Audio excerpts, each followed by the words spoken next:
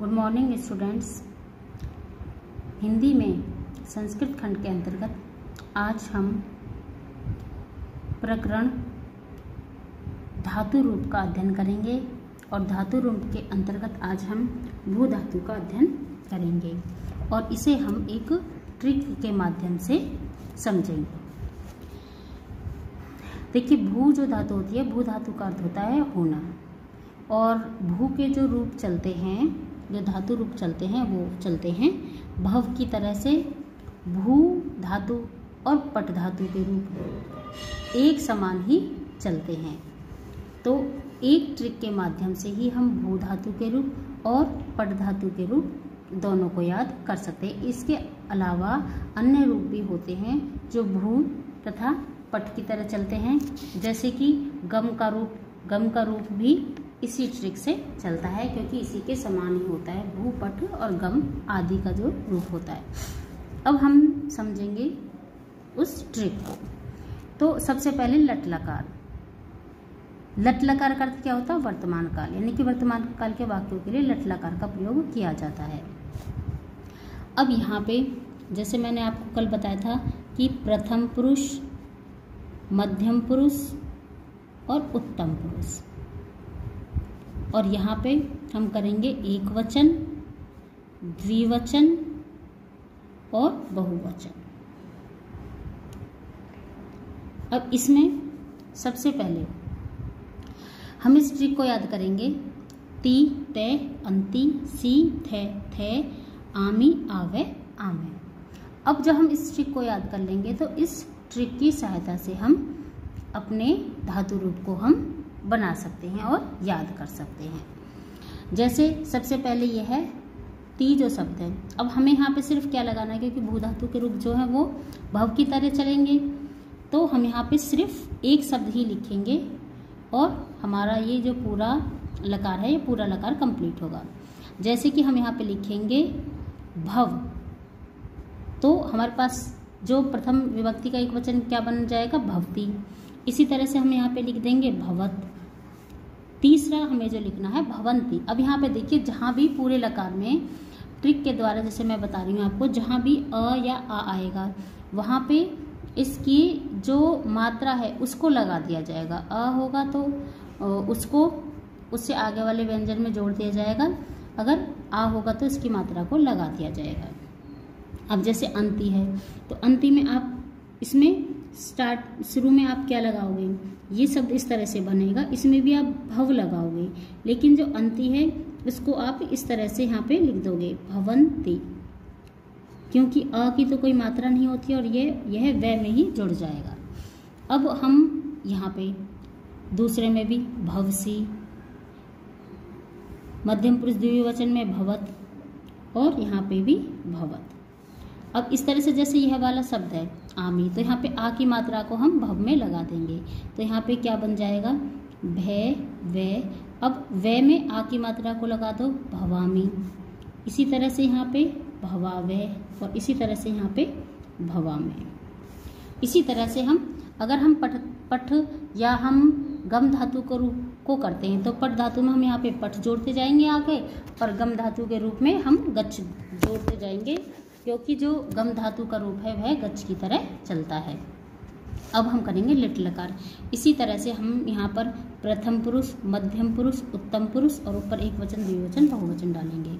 अब यहाँ पर लिट लकार लिट लकार का जो हमारा रूप चलेगा, यह थोड़ा सा अलग चलता है।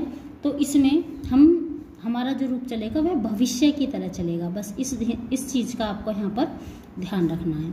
तो यहाँ पे हम सभी पुरुषों में और सभी वचनों में हम भविष्य शब्द को जोड़ देंगे यहाँ पे। जैसे हमने यहाँ पे लिख दिया, भविष्य तो ये हमारा पूरा बन गया भविष्य थी। इस, यहाँ भी हम इसको जोड़ देंगे भविष्य है और यहाँ भी हम इसको जोड़ देंगे भविष्य। अब यहाँ पे जो है क्योंकि हम इसे ए को जोड़ेंगे तो मैंने आपको बताया था कि ए को आगे वाले वर्ण में जोड़ देंगे। तो ये पूरा क्या बन जाएगा? भविष्यंती क्योंकि ए की तो कोई मात्रा होती नहीं है। अब यहाँ पे भी हम भविष्यसी यहाँ पे भविष्यथ और यहाँ पर भी भविष्यथ। अब इसमें हम उसी तरह से करेंगे। भविष्य, य में आ की मात्रा जो है, य में उसे जोड़ देंगे तो क्या हो जाएगा? भविष्यामी। भविष्यावह। फिर में अब हम करेंगे लोट लकार। तो लोट लोट लकार में भी इसी तरह से यहाँ पे भी हमारा क्या चलेगा? भवतु, भवताम, भवंतु। अब यहाँ पे व में ए को जोड़ देंगे तो ये क्या बन जाएगा? भवंतु। अब यहाँ पे भी, यहाँ पे जो होता है, यहाँ पे मूल शब्द आता है इसमें। तो यहाँ पे हम क्या लिखेंगे? सिर्फ़ भव। भवतम और भवत। इसी तरह से यहाँ पे भवानी, भवाव, भवा। इसके लिए जो हम ट्रिक अब हम विधिलिंग लकार को करेंगे। तो विधि लिंग लकार में जो हमारे पास ट्रिक होगी, वो होगी एत, एताम, एयु, ए, एतम, एत, एयम, एव एम तो इस ट्रिक के अनुसार अब हम विधिलिंग लकार को करेंगे।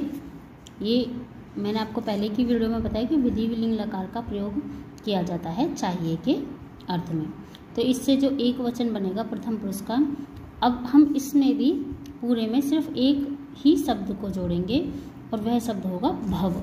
तो जब हम भव, जैसे यहाँ पे एक चीज़ का और ध्यान रखना, जैसे मैंने आपको बताया था कि आ की मात्रा को जोड़ दिया जाता है आगे वाले वर्ण पे, यानी कि वे पे।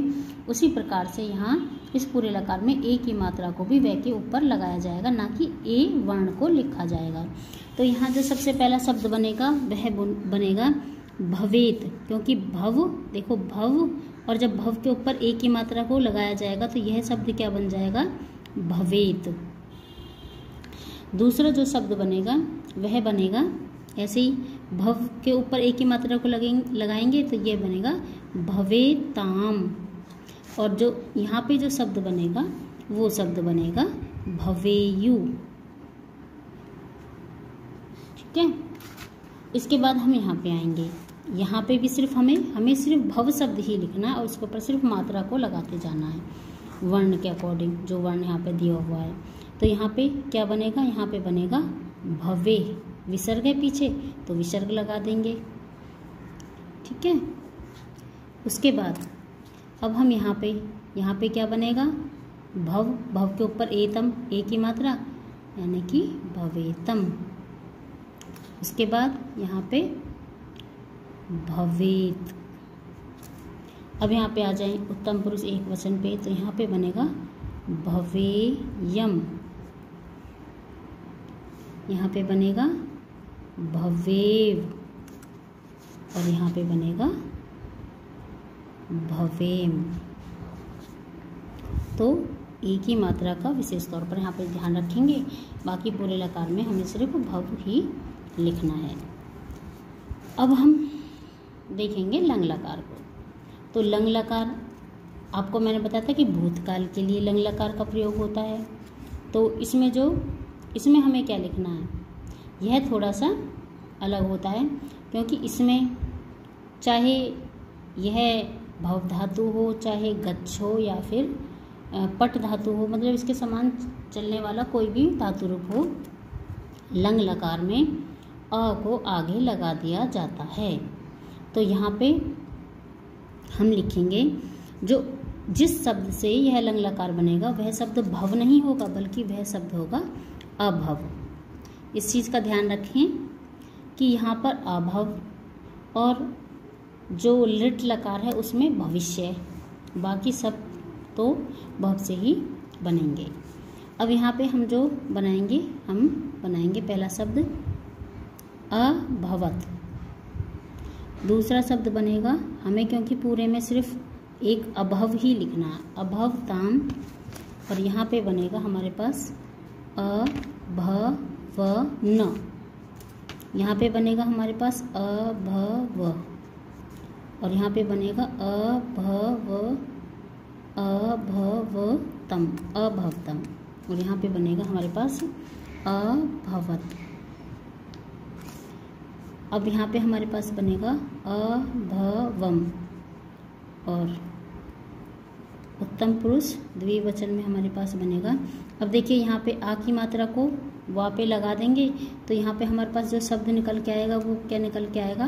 अभ वाव अभ अभव, शब्द लिखेंगे ना पहले हम अभ वाव और यहाँ पे हमारे पास जो शब्द बन के आएगा वो आएगा अभव, आम, यानी कि अभवम।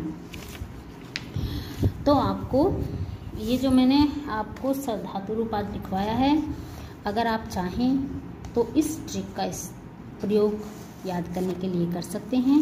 नहीं तो आप सामान्य तौर पर भी इस सब धातु रूप को याद कर सकते हैं।